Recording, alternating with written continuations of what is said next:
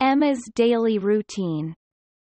Hi, I'm Emma, a little girl living in London. My day begins with the sun. I'm an early bird, waking up at 6 a.m. I stretch my arms wide and hop out of bed.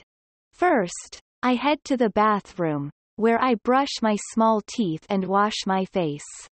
Then, I slip into my soft, comfy clothes, usually a dress with flowers or my favorite cartoon character. Breakfast time is fun. I sit at the table where my mum has made yummy porridge or toast with jam. My favorite drink is apple juice, which I sip while chatting with my parents. After breakfast, it's time to get ready for school. I put on my coat and backpack, and off we go. We walk past parks and shops, and I love looking at the people and dogs we pass. At school, we learn about numbers, letters, and the world around us. My best part is story time, where we listen to tales of adventures and magic. We also draw and play games. Lunch is in the big hall, where I sit with my friends and share stories.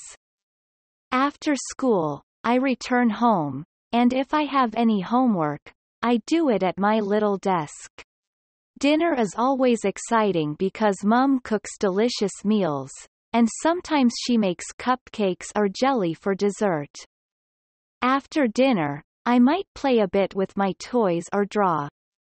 When it's bedtime, I change into my pajamas, brush my teeth again, and snuggle into bed. Mum or Dad reads me a story until I drift off to dreamland. On weekends, I stay up a little later to watch cartoons or a movie. Vocabulary and examples Early bird. Someone who wakes up early. Example. Emma is an early bird.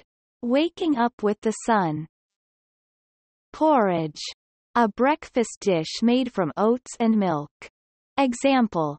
Emma loves eating warm porridge on cold mornings. Backpack.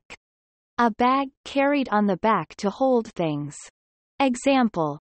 Emma packs her books and lunch in her backpack for school. Adventure. An exciting or unusual experience. Example. Emma loves listening to stories of adventure and magic. Cupcakes. Small cakes for one person. Example. Emma's mum sometimes makes cupcakes for dessert. Snuggle. To settle into a warm, comfortable position. Example. At bedtime. Emma snuggles into bed ready for a story. Pajamas. Clothes worn for sleeping. Example. Emma changes into her soft pajamas before bedtime. Homework. Schoolwork done at home. Example.